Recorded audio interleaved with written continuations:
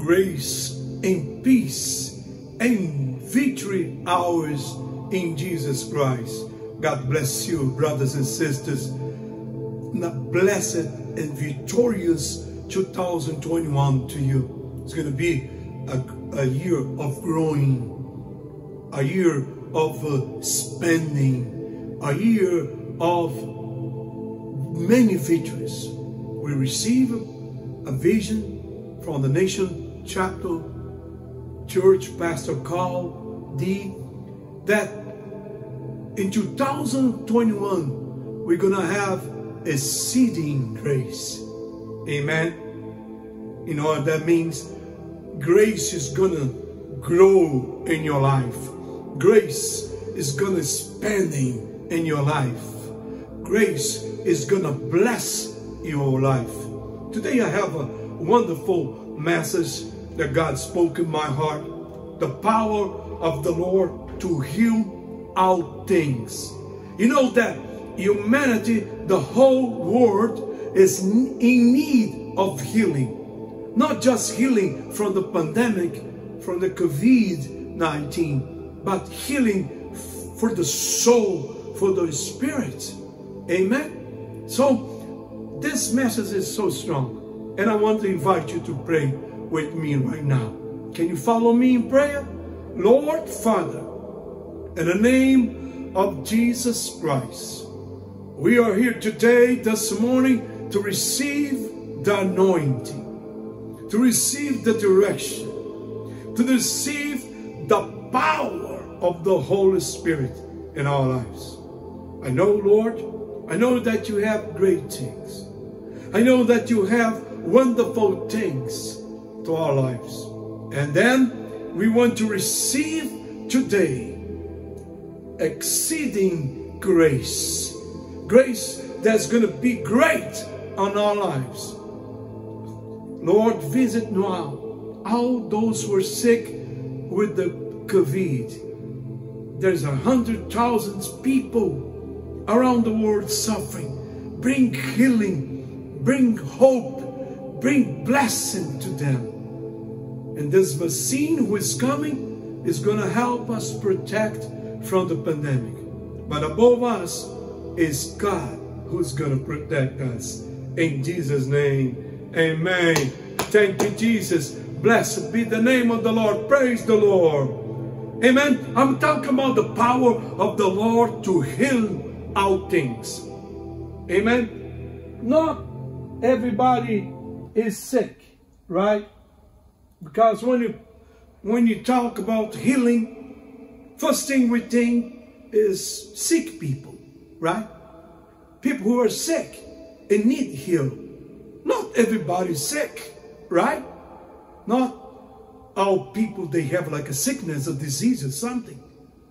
But one thing is is true.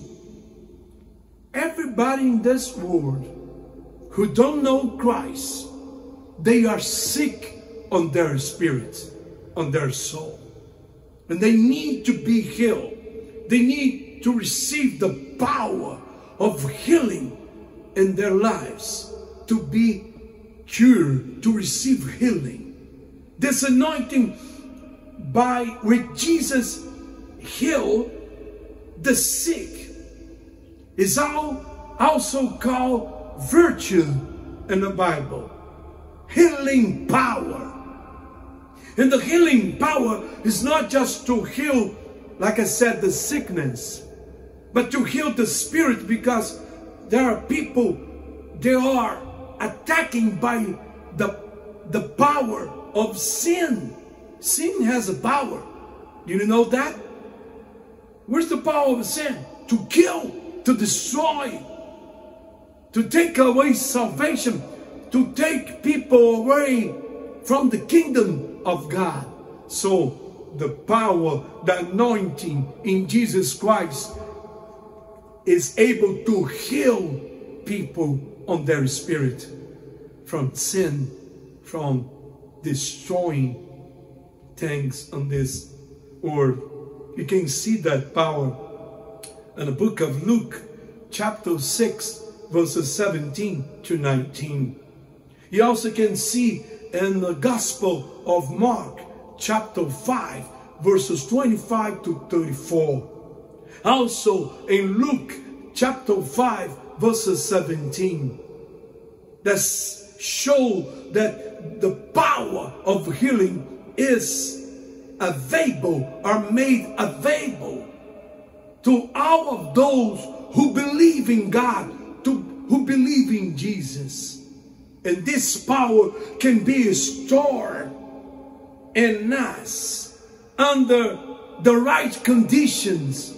It will flow. Amen. Amen. Amen. So where's the right condition, Pastor? Amen. Let me explain something. So you're going to be able to understand. The healing power require from us right conditions. That means we need to obey the Lord. We need to obey the word of God. We need to be praying, fasting. We need to have a disciplined life in our lives. Let's go start with the first reading and then I have all the scripture over here. You can write down the first scripture is in Isaiah, Isaiah chapter 10 verses 27. It shall come to pass in that day. So when the prophet Isaiah talk about a day, a day who was coming, it's like when you announcing or on on such day something's gonna happen. I will do something. I will go somewhere. So here he said, it shall come to pass in that day. So the prophets from Isaiah we will fulfill on the day of Christ. So when Christ come to her to earth, all the prophets of healing salvation, deliverance, power of God comes to pass. Amen. And said, It shall come to pass in the day of Christ that his burden will be taken away from your shoulder. So your burden will be taken away from your shoulder. And your yoke from your neck and the yoke of sickness and oppression will be destroyed because of the anointing. So on the day of Christ, the burden that have weight on your shoulder, on people's shoulder, you know, and the yoke, what's the yoke? The the cur, the curse of sickness, oppression, and suffering he promised will be destroyed in the days of Christ. Since Christ come and start his ministry until this day, until he comes, he has the power, the church has the power, the anointing to destroy every sickness, diseases, every evil of every work of the devil will be destroyed by the anointing. When you read the, the word anointing in the Bible, means oil. For this reason, we use the oil to anoint. You know? So God, He put it down with Jesus, oil of anointing. And this anointing is power to us. Hallelujah. So, number one, healing power. Amen. This healing power has been supplied to us through Christ 2,000 years ago. Is revealed in the Word of God, especially through the ministry of Jesus. That is not a lack of power has been given to us abundantly, supplied to us by God through Christ with the Holy Spirit. Amen. Amen. The Holy Spirit bring the anointing to me, anointing to you, anointing to the believers to set people free, to heal sickness and diseases, to destroy oppression, to saving souls in the name of Jesus. Hallelujah. Praise God. Praise God. Amen. And then we need to have a knowledge concerning to the power of healing. We need to have a knowledge concerning the anointing of deliverance, for example. Well, I know, Pastor, I know. I have a learner and my church, past, my pastor teaches me. I, I read in the Bible. I watch a, a movie. I watch a video. No, no, this is not a knowledge. It's not this kind of a knowledge that I'm talking about. Because this is not a theory. It's not like something that you read and you start to working because you read. No, it's anointing. It's a spiritual that brings to us responsibilities. I cannot play with this thing. I was calling to the ministry almost 38 years ago. Me and a couple of friends. I have a friend, Bishop, Bishop Santos, that he has the same time of ministry that I have. And we received the same, the same call like our pastor, Pastor Carl D.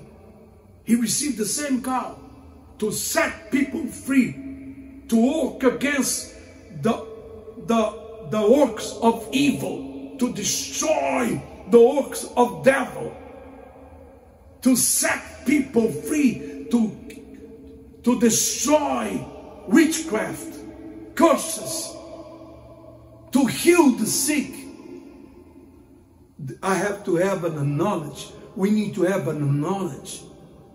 That's not just do because God said to do, not just do because God called us to do.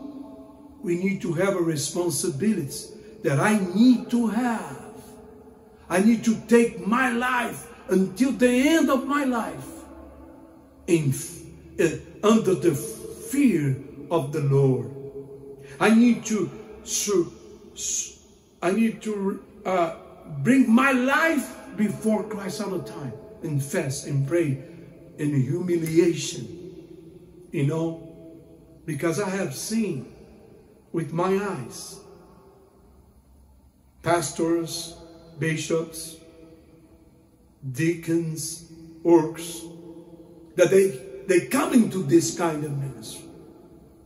Deliverance, you know, attacking the devil, fighting uh, against the, the forces of evil, start a warfare against the devil. And then they did not have the responsibility on their lives. Pe those people think there is a plane, it's like a game, and it's not. You know what happened? I know hundreds of people pastors, bishops, they fell. And they, they are destroying today. Some of them even die in sin. So look at that. You're called to saving souls and you end up being destroyed because you're not prepared. You didn't prepare yourself. I don't want to scare you and then I know, so Pastor, I don't want to do that. If God calls you, you need to do. But you just have to take responsibility. Have, you need to have a knowledge of the responsibility behind the ministry.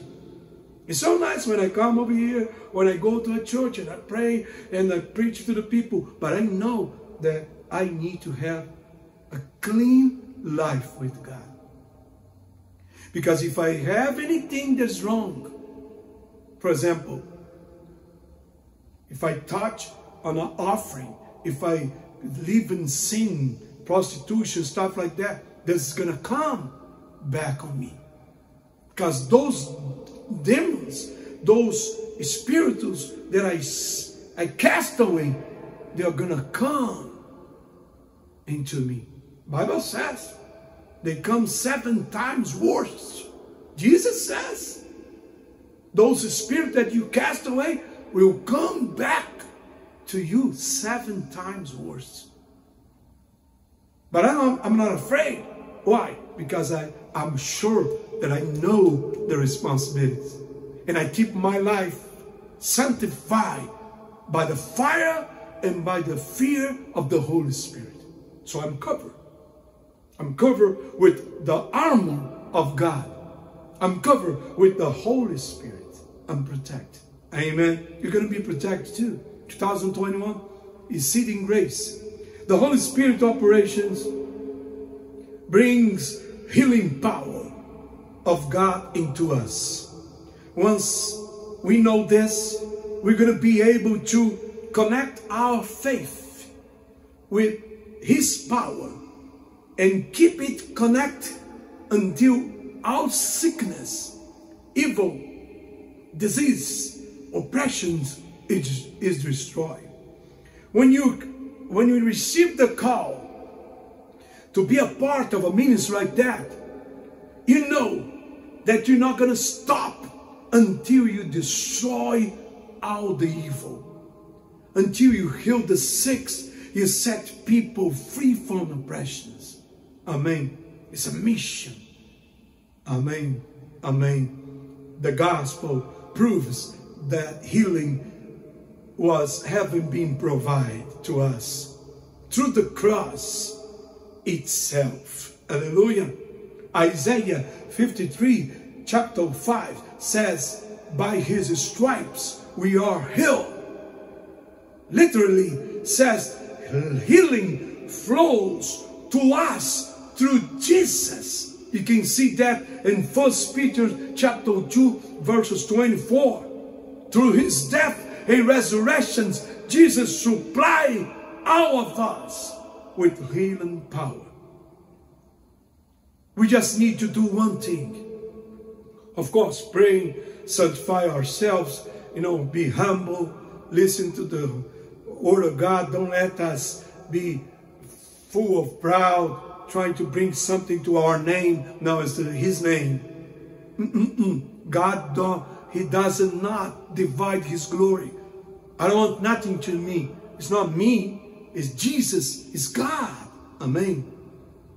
We just need to know one thing. Number three, without Jesus, we can do nothing. Amen.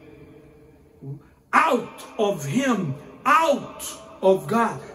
If, we come out of God, we fell, we fall, and we die.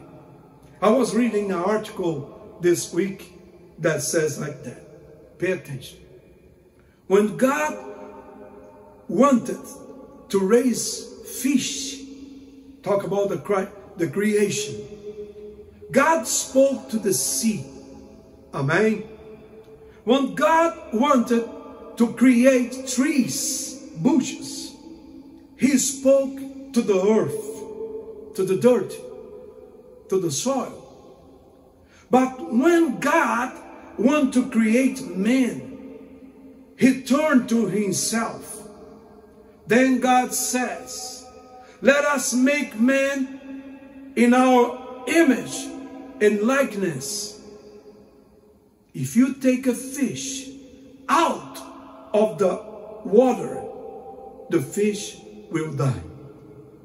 If you remove a tree from the ground, from the earth, from the dirt, from the soil, the tree also dies. Likewise, likewise, when a man disconnects himself from God, he also dies. God is our natural environment. Like water is for the fish. Like dirt, soil is for the tree. God is our natural environment. We were created to live in His presence. We have to be connected with Him because only with him life existed. And without him, life does not exist. We will stay connected with God in 2021. I deliver these prophecies to you. You're going to be connected with God. Remember that water without fish is still being water, but fish without water are nothing. Fish die. The soil, the dirt, without trees is still being soil, dirt.